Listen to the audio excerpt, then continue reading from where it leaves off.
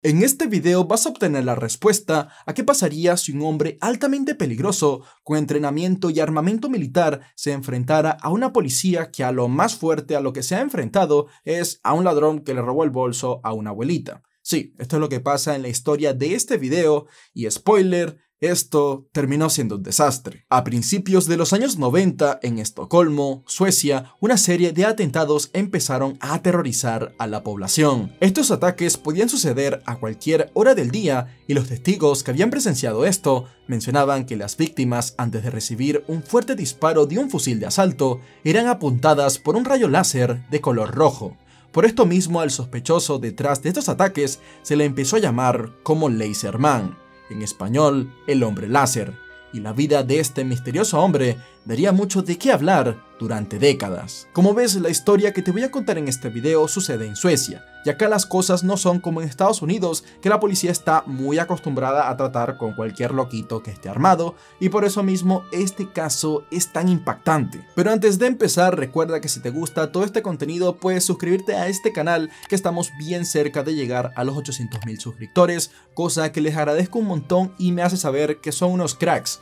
Y ya hecho esto, sin más dilación, empecemos de una vez con la historia. Wolfgang Alexander Zog, a quien llamaré Alexander durante todo este video, porque si le digo Wolfgang siento que le estoy hablando a alguien del año 1700 que usa peluca blanca, nació el 12 de julio de 1953 en Lindigo, Suecia, proveniente de una familia de inmigrantes. Su padre era suizo y su madre era alemana. Dos años después, en 1955, nacería Ralph, el hermano menor de Alexander, pero ambos niños solo se criarían de la mano de Hilde, su madre, ya que la mujer estaba cansada de las infidelidades de su esposo Egon y finalmente decidió divorciarse. El padre de estos chicos solo de vez en cuando se reunía con ellos y este siguió con su vida de mujeriego.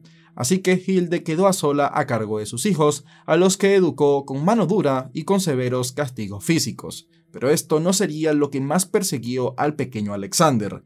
El mayor problema para él era su color. Y puede parecer raro, ya que la mayoría de personas que me ven son latinas y ustedes, al igual que yo, podemos considerar a Alexander como alguien blanco. Pero acá en Suecia todos son rubios de ojos claros y Alexander sufría de discriminación y era objeto de burlas. Hasta le llamaban negro de forma despectiva y él todos los días maldecía el haber heredado el pelo oscuro de su padre. En otoño de 1965, Alexander empezaría a asistir a la escuela alemana, un centro elitista de disciplina estricta que sembró en él las primeras semillas del ultraderechismo, ya que comenzó a decantarse por ideas políticas más conservadoras y rechazaba la socialdemocracia sueca que era la inclinación que lideraba al país en ese entonces. Al poco tiempo, ese Alexander tan callado que todos conocían se metía en acalorados debates sobre temas como su apoyo a la intervención estadounidense en Vietnam o su odio hacia los socialistas. Alexander también le cansaba todo este show militar que vivía todos los días en su colegio, así que decidió abandonar la escuela alemana sin terminar el bachillerato, y gracias a un contacto de su padre consiguió un trabajo en un restaurante. Luego, cansado de la pobre paga, renunció y se metió a taxista. De esta manera logró independizarse de su madre, pero igualmente Alexander se sentía vacío, así que decidió trabajar como operador de salas de cine, arte por la que sentía gran pasión. En octubre de 1978 falleció Egon, el padre de Alexander, y esto empezó a complicar el comportamiento del joven, quien ya era bastante raro de por sí, si esta historia fuera actual, él sería de esas personas que en la vida real hacen creer que no matarían ni a una mosca, pero que en Twitter se meten en debates contra chicas de 15 años creyendo que eso los hace atractivos o más inteligentes. Por ese entonces, Alexander comenzaría a comportarse de forma irritable, maleducada, agresiva y su vacío existencial le proporcionó insomnio, lo cual hizo que le costara bastante mantener un empleo y ni siquiera podía ejercer como taxista porque se había deshecho de su licencia durante un viaje que hizo a Suiza. Viéndose con el riesgo de irse a la calle, Alexander decidió trabajar como taxista de forma ilegal, pero el tipo no le puso cabeza al asunto. Este aún así manejaba como un irresponsable y se comportaba como si fuera el rey de la calle, haciendo que no pasara por desapercibido ante las autoridades. Debido a sus múltiples males, Alexander decidió acudir a un médico, Esto él lo hizo como para comprobar que no estaba mal del coco y que todo el mundo era el que estaba mal, pero los profesionales, al ver el cacao mental que tenía, le avisaron que sí necesitaba ayuda de un psiquiatra con urgencia. Alexander se negaba a recibir asistencia médica, aclamando que estaba bien, pero el 16 de marzo de 1979 lo ingresaron a la fuerza al hospital de Estocolmo, ya que se consideró que él no estaba en plena posesión de sus facultades y a los 10 días el hombre sería dado de alta. Por su comportamiento, Alexander había perdido sus dos empleos, lo que lo llevó a vivir en la calle, llegando a dormir en autobuses o en pasillos y aulas de una universidad. Sus ideas conservadoras le hacían culpar a la socialdemocracia de su situación y por su odio hacia el dinero público se negaba a recibir asistencia social. También era propenso a detestar la criminalidad, pero a principios del otoño de 1980 comenzó a hacer estafas a la caja postal, además de que cometía pequeños hurtos y eso lo llevó a ser interrogado y arrestado por la policía en varias ocasiones. Meses después, tras hacerse conocido como un loco en la ciudad ante toda persona que tuviese contacto con él, Alexander fue llevado a un centro social donde una doctora determinó que debido a su carácter violento y problemas psíquicos, este hombre debía ser internado. Él se rechazaba a recibir tratamiento, pero la policía a la fuerza lo obligó y a Alexander no le quedó de otra. Esto fue un proceso complicado para los médicos, y el hombre estuvo durante tratamiento por casi un año, hasta que en octubre de 1981 sucedería uno de los peores errores por parte del Estado sueco en su historia. Resulta que Alexander al ser joven sería llamado a las filas militares del país, Está más que claro que un hombre con un comportamiento tan errático como el de él, lo último que necesita es aprender a usar armas. Sin embargo, debido a que la ley sueca impidió a las Fuerzas Armadas acceder a su historial médico sobre el papel, Alexander era un hombre apto para hacer el servicio militar. Acá él aprendió a usar fusiles de asalto AK-4, subfusiles, pistolas semiautomáticas, explosivos, lanzagranadas y otros tipos de armamento militar. Durante el servicio militar, la actitud agresiva y violenta de Alexander continuó siendo un problema y su actitud fue bastante indisciplinada e irresponsable, en los primeros tres meses ya había sido denunciado en seis ocasiones. Además, en su estancia en el Palacio Real de Estocolmo, sería denunciado por desacato y abandono del puesto. Meses después atacó a dos reclutas y por eso mismo muchos de sus compañeros no dudarían en agredirlo en repetidas ocasiones. Ya una vez finalizado el servicio militar, Alexander comenzaría nuevamente con una serie de agresiones cada vez más violentas, como atacar al empleado de una tienda durante un intento de robo y cuatro días después tratando de atropellar a un policía en un control de tráfico. Por este entonces, Alexander no hizo más que recibir exámenes psiquiátricos y presentar juicios, en donde finalmente le sentenciaron a un año y nueve meses de prisión, pero como no fue tratado como alguien peligroso, Alexander se hizo el loco y empezó a vivir de bajo perfil, trabajando como taxista con una identidad falsa. Pero en junio de 1985 lo atraparon y lo llevaron a la cárcel, donde se volvió a escapar, y luego lo llevaron a otra cárcel y se escapó de nuevo. Sí, las prisiones en estos países suelen ser muy simples. No es que Alexander era un genio del escape.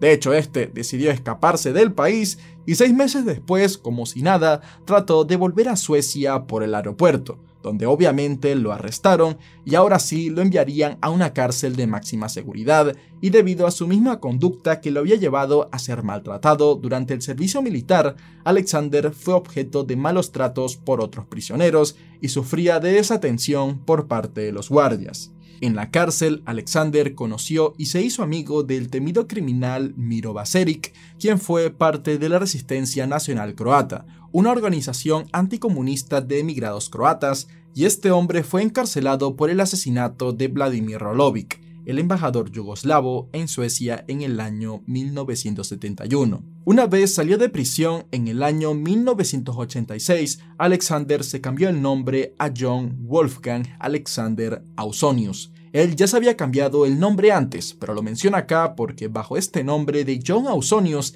es que Alexander sería conocido, ya que a partir de ahora su comportamiento se volvería más errático que nunca, convirtiéndose no solo en un criminal muy temido en su país, sino en toda Europa. Antes de hacer todas las locuras que hizo, Alexander volvió a su trabajo de taxista ilegal, a la vez que estaba determinado en ser ingeniero. Por este tiempo se alejó de los problemas y logró ganar algo de dinero, llevando una vida pacífica hasta el verano de 1988. El mercado de valores sueco estaba teniendo una gran tendencia alcista por ese entonces, y Alexander justo había empezado en el mundo de las opciones, que es una forma de invertir en la bolsa. De esta manera empezó a ganar mucho dinero, tanto que su mente ni siquiera podía procesarlo. Para el verano ya tenía medio millón de coronas ahorradas, su talento para el mercado le valió rápidamente una fortuna bastante grande, lo que le llevó a adoptar un estilo de vida muy ostentoso. Sin embargo, todo esto resultó ser un golpe de suerte.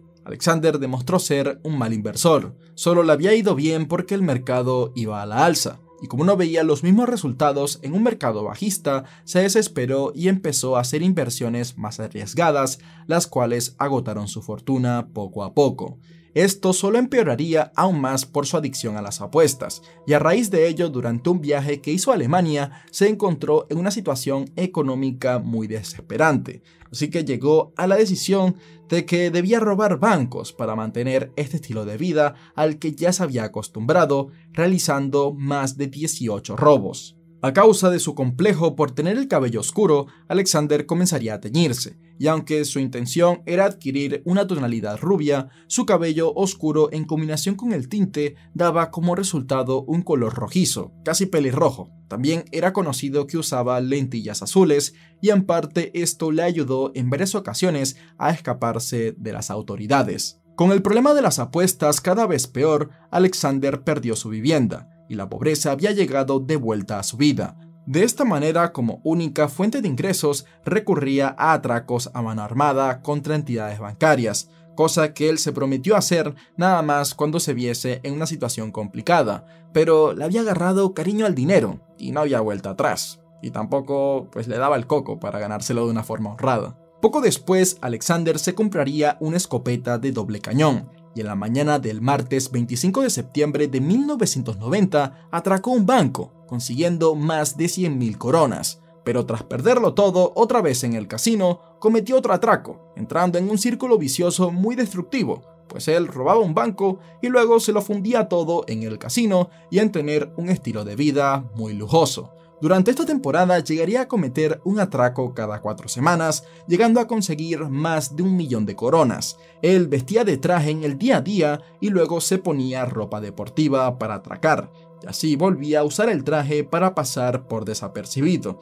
ya que los testigos decían que el ladrón llevaba ropa deportiva, y por más tonto que suene esto, le funcionaba bien. Como podrás imaginar, la relación de Alexander con las mujeres tampoco es que era muy buena. Sus traumas y su forma rara de actuar lo alejaban de muchas, pero sin embargo, tras intentarlo varias veces, logró tener alguno que otro amor. Su primera relación sentimental fue de muy corta duración, debido a la excesiva atención que le dedicaba a su pareja. Ella, privada del suficiente espacio personal, lo dejó y empezó otra relación de forma inmediata. No aguantando esto, Alexander empezaría a acosar a la mujer hasta que ésta lo denunció con la policía. Y cuando Alexander ya tenía cierto estatus por su estilo de vida, un conocido suyo de un club al que era asiduo le presentó varias mujeres, y pese a que muchas de estas se veían bastante interesadas, todos los intentos de Alexander en ligotear fracasaron, su falta de experiencia le hizo comportarse con ellas de forma en extremo desconsiderada. Para que te hagas una idea de la falta de tacto que tenía, una vez trató de convencer a la peluquera que le teñía el pelo para que saliera con él, a pesar de que ella, forma de rechazo indirecto, le decía que estaba casada y que tenía un hijo. Esto no le importó a Alexander, que en una ocasión llegó a invitarla a un hotel con el fin de grabarse teniendo relaciones sexuales con ella. Ante esto, la peluquera y un compañero suyo lo obligaron a marcharse del local para más nunca volver. Justo antes de su primer robo a un banco, Alexander conoció en una discoteca de Dinamarca a una chica que celebraba su cumpleaños número 17. Él le mintió sobre su edad y le contó que era un exitoso inversor en la bolsa de valores sueca. Hasta le llegó a hablar de sus gustos exquisitos por el arte y la música clásica, y también por el vino, y bajo estos encantos irresistibles, a la semana siguiente invitó a la chica al restaurante más elegante de la ciudad, le regaló un perfume caro y un libro sobre posturas sexuales. Vaya hombre refinado. De allí fueron a un hotel, donde por primera vez Alexander, así sea por un minuto, logró hacer las posturas, o una de las posturas que vi en el libro. Como puedes ver, nuestro amigo Alexander estaba muy obsesionado con hacer el sin respeto, tanto así que la primera chica que le dio eso, eh, lo volvió loco, tanto así que, él, perdón que me ríe siempre de estas cosas, que soy muy maduro, eh, él robó un banco un día de estos y todo el dinero prácticamente de este robo se lo dio a esta chica para impresionarla. Y chicas, tengan esto en claro, si su hombre no robó un banco por ustedes, tómelo como un red flag y él no las merece, ¿ok? Esta inmensa cantidad de dinero que Alexander le enviaba a esta chica hizo que ella también se empezara a meter en problemas, ya que las autoridades le empezaron a preguntar, oye, ¿y todo este dinero de dónde viene? A lo que la madre de esta chica, viendo en todo el rollo en lo que se estaba metiendo, le empezó a recomendar a su hija de que mejor se alejara de este hombre con el que estaba saliendo y que dejara las cosas así. A Alexander no le gustó para nada esta noticia y empezó a discutir con esta mujer diciéndole de que él podía darle a su hija una mejor vida de la que ella le daba, que lo que él sentía era amor puro, pero todo el mundo lo tomó como un loco y esto terminó con Alexander pidiéndole a la chica que le devolviera todos los regalos que él había hecho. Consejo de Fusgo número 1. Anota ahí. Nunca pidas que te den de vuelta el regalo que diste, ya que el hacer esto hace que pierdas tu dignidad sí o sí, no importa cuál sea el contexto, y esto aún así no garantiza que te devuelvan tu regalo, y si te lo devuelven nunca va a estar en perfecto estado, así que cuida tu dignidad, que esa vale mucho más que cualquier regalo. Y si eres tacaño, pues no regales nada. En su último intento de enamoramiento, Alexander conocería a una madre soltera en una tienda. Ella le respondió bien y esto llevó a Alexander a estar durante meses trabajándola, es decir, dándole regalos tanto a ella como a su hijo, hablándole bonito y siendo algo simpático, pero él acá no veía el mensaje entre líneas pues a palabras de la misma mujer, esta veía a Alexander como alguien agradable, a quien le agradecía mucho por ayudarle en un momento difícil, pero no estaba interesada sexualmente en él, y un día cualquiera en el que Alexander la fue a visitar, este quedaría devastado al ver que esta mujer lo presentó a él como un amigo ante el hombre con el que estaba saliendo. Esto enfureció a nuestro protagonista y así más nunca volvió a contactar a la mujer. Tengan en cuenta que el movimiento entre países de Europa no tiene muchas restricciones y menos por ese tiempo, y como Alexander se la pasaba robando bancos, él tenía el dinero suficiente para tener bastante libertad. Así fue como en Bélgica compró un fusil de la marca Erma, así como algunos cuchillos de combate y una mira láser y con este fusil y la mira láser acoplada es que Alexander empezaría a cometer sus primeros ataques en contra de personas inmigrantes. Ya era conocido el odio de Alexander hacia los extranjeros del Medio Oriente o de piel oscura, y estas creencias lo llevarían a comenzar a buscar delincuentes inmigrantes para exterminarlos, pero eventualmente se cansó de ello al ver que no habían tantos criminales como él se hacía la idea, así que decidió simplemente matar a cualquier extranjero, de esta manera, él buscaba asustar a todos los inmigrantes para que se fueran de Suecia. El 3 de agosto de 1991, David Hebre Marian, un joven africano de 21 años, recibió un disparo de un fusil en la espalda. Él iba junto a unos amigos al momento del ataque. Estos de inmediato buscaron ayuda y se pudo salvar, pero nadie supo de dónde vino el disparo. Solo vieron que antes de recibir el impacto sobre la espalda de David se podía ver una luz roja que parecía venir de un láser. Dos meses después, una estudiante de origen iraní fue alcanzada por una bala cerca del rostro. A la semana, un vagabundo de origen griego recibiría dos en el estómago. Cinco días después, un músico brasileño recibió una gran ráfaga de balas en el estómago y rostro dentro de un restaurante. Todas estas tres personas lograron sobrevivir, y al igual que la primera víctima, solo decían haber visto una luz roja antes de recibir los disparos, por lo que al sospechoso detrás de estos ataques se le empezó a llamar como Laserman. Pero en el último ataque, el hombre brasileño y otros testigos pudieron dar una pista de este criminal, que el 8 de noviembre de 1991 se cobraría su primera vida. Esta tarde, Jimmy Rangbar, quien era un estudiante iraní de ingeniería civil, salió de casa despidiéndose de su mujer y dos hijos porque éste se iba a ver con su hermano en un cine. A Jimmy se le había hecho tarde, y mientras éste caminaba deprisa frente a un edificio, se escuchó una fuerte detonación. Acto seguido, Jimmy cayó desplomado al suelo y murió. Alexander, por otro lado, estaba feliz al ver que por fin le había dado a su víctima justo en donde quería con su rifle telescópico. Y esto no iba a terminar acá. Después de esto, Alexander realizó un viaje a Estados Unidos, donde visitó Las Vegas, un lugar soñado para él, ya que le encantaba apostar, y pese a que seguía siendo buscado por la policía de su país, este volvió a Suecia en enero de 1992, cobrándose cuatro víctimas en tan solo ocho días. Pero el tipo ni siquiera logró hacer lo que se propuso, ya que las cuatro personas a las que atacó quedaron con vida. Eso sí, dos de ellas quedaron muy mal heridas. Esto dejaba a Alexander con nueve intentos de homicidio, consiguiendo solo uno. La investigación fue muy difícil para la policía, ya que el asesino no tenía vínculo alguno con las víctimas. La única pista más o menos interesante era que en algunos de estos ataques se había logrado ver un auto salir a gran velocidad. Este era un Nissan Micra SLX blanco, y resulta que Alexander sí que había alquilado un coche así a una empresa de Estocolmo. Esto lo hizo con su nombre real del momento, que era John Ausonius. La policía descubrió esto, pero ya era muy tarde. El número de teléfono y la dirección que había dejado Alexander a esta empresa de alquiler era falso, y para este entonces él ya se encontraba en Alemania al ver las noticias de que la policía le estaba siguiendo los pasos. Estando en Frankfurt el 8 de febrero de 1992, Alexander visitó un restaurante en la plaza de la ciudad y todo salió normal, pero dos semanas más tarde regresó con muy mal humor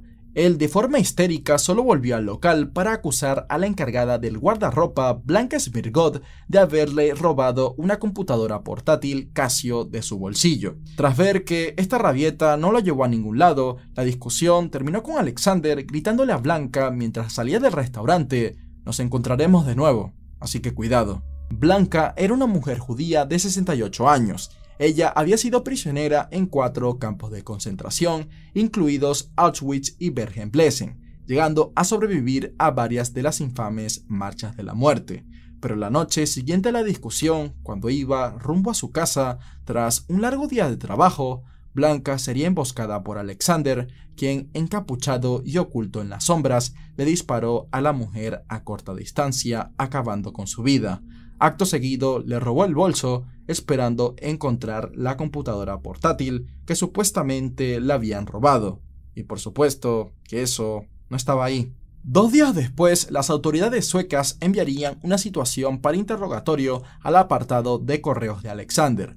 Esto debido a la información del auto alquilado y que el nombre de John Ausonius le sonaba a un oficial que trabajó en la investigación del asesinato del primer ministro Olof Palme. Este hombre encabezaba el Partido Socialdemócrata sueco y como su asesinato fue a las afueras de un cine en el que trabajaba Alexander, se lo puso a él como el sospechoso principal, pero debido a que en ese entonces Alexander se encontraba en la cárcel, la investigación sobre él fue dejada a un lado. Pero aún así a las autoridades les quedó en la mente su nombre guardado por todas las denuncias que tenía en su historial debido a sus locuras. Viendo que la policía estaba tras él, a fines de febrero Alexander se escapó a Sudáfrica. Y por supuesto, ¿qué más iba a hacer? ¿Qué diantres le pasa a la policía europea? Sé que por allá son refinados y todo lo que tú quieras, pero mi loco, ¿qué es eso de enviarle una carta a un homicida pidiéndole de que por favor asista a un interrogatorio? Un poco más y le envían las esposas por correo para que se arreste a sí mismo. Pero por si no fuera suficiente, Alexander a mediados de mayo volvería a Suecia entrando como perro por su casa y las autoridades solo se enteraron de que había vuelto porque el tipo tuvo el descaro de vaciar su buzón de correos. Acá los oficiales por fin empezarían a justificar su sueldo, ya que se pusieron a revisar todos los movimientos del sospechoso en los últimos años. De esta manera descubrieron que era cliente de varias casas de empeño, lo cual es un gran rasgo de ladrón, y también descubrieron que este era el sospechoso principal detrás de 17 robos de banco en Estocolmo, el cual era conocido por hacer todos sus atracos en bicicletas robadas. Sí, en Europa al parecer puedes atracar bancos en bicicleta mientras te tomas un capuchino en el camino. La policía desconocía la dirección de Alexander, pero gracias a que se supo que alquilaba películas en una tienda de videos en la intersección de dos calles, se trianguló esa zona y así se puso bastante atención a los bancos dentro de ella. Al día siguiente, el 12 de junio de 1992, Alexander salió de casa por la mañana y se fue en bicicleta. Acto seguido se metió en un callejón en donde se cambió de ropa y frente a unos vigilantes llevó a cabo su décimo octavo robo de banco. Esta vez sí que habían policías para atraparlo, pero cuando intentaron ponerle las manos encima empezó un tiroteo. Y como puedes imaginar, si Alexander fallaba hasta en dispararle fatalmente a civiles, obvio que no pudo hacer nada contra la policía. Y pese a que recibió entrenamiento militar, al poco tiempo este criminal ya estaba sometido ante los oficiales, quienes lo pusieron bajo arresto. En los primeros interrogatorios, Alexander negaba todo, pero muchos de sus comportamientos revelaban que sí era el hombre que buscaban, un oficial comenta que en un momento intentó llegar al corazón de Alexander, contándole toda la historia de lo que había pasado Blanca en el holocausto, buscando que se quebrara y confesara. Pero esto terminó causando el efecto contrario, ya que Alexander no sabía que la mujer era judía y también desconocía su pasado, así que al enterarse sonrió y pareció feliz. Esto confirmaba sus lazos con grupos extremistas fans de la Alemania del 42. Si para atrapar a Alexander las autoridades suecas se complicaron un montón, ni te comento del proceso judicial. Pero como esas cosas no son tan divertidas, tranqui que te voy a comentar solo lo más interesante para no hacer el video eterno. El primer abogado defensor pagaría los platos rotos de la ira acumulada de Alexander, ya que este lo golpearía en el primer juicio teniendo que ser esposado. Luego lo cambiaron a dos abogados distintos, a quienes en el centro de detención también les propinó varios golpes. Estos de inmediato presentaron su renuncia. Obviamente esto retrasó el juicio, ya que el cambiar de abogado representa muchas cosas, y tres años después de su arresto, en 1995, cuando se reanudó el juicio, Alexander volvió a golpear a los nuevos abogados, lo cual dejó como imagen icónica de ese día la cara ensangrentada de uno de los abogados. Esta vez a Alexander no se le permitió cambiar de abogado para terminar con esto de una vez por todas, y en mayo de 1995 se confirmó la sentencia que le habían dictado dos años atrás de cadena perpetua. En Suecia la cadena perpetua es indeterminada, pero prácticamente puedes pedir clemencia cuantas veces te dé la gana, lo que hace que cada 2x3 el convicto como no tiene más nada que perder, pida esto todo el tiempo. A todo este rollo judicial también había que sumarle que Alexander fue extraditado a Alemania por el homicidio de la señora de 68 años, del cual se declaró culpable apenas en 2018. Actualmente Alexander, o mejor conocido como John Ausonius, cumple una cadena perpetua doble, esto tanto por sus crímenes en Suecia como en Alemania, y ahora se encuentra en una institución tras las rejas que se encuentra al norte de Estocolmo. En abril de 2006, un periódico reveló que Alexander se había comprometido con una mujer de identidad anónima de 23 años, cosa que no me sorprende para nada, ya que en estas cárceles de Europa la gente tiene más libertades que uno que iba aquí en Latinoamérica, y según una amiga de esta mujer, esta se enamoró por completo de Alexander después de ver la serie Lasermanen, la cual había salido un año antes, y esta era una producción sueca, eh, la cual narraba la historia de Alexander, y esto llevó a esta chica que lo contactara, y ambos se gustaron. Bueno.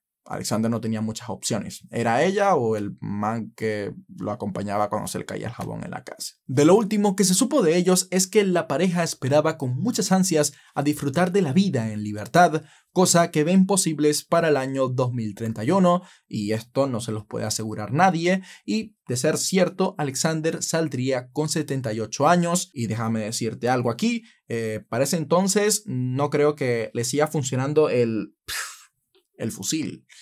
Y con este chiste malísimo acabo este video. Ya sabes que te puedes pasar por los otros videos que he subido a este canal. También puedes pasarte por el otro canal que está aquí abajo en la descripción, que también es contando historias de mi hermano gemelo. Y ya dicho esto, eh, muchas gracias por acompañarme en esta ocasión. Y ya sabes que como siempre, nos vemos en la próxima.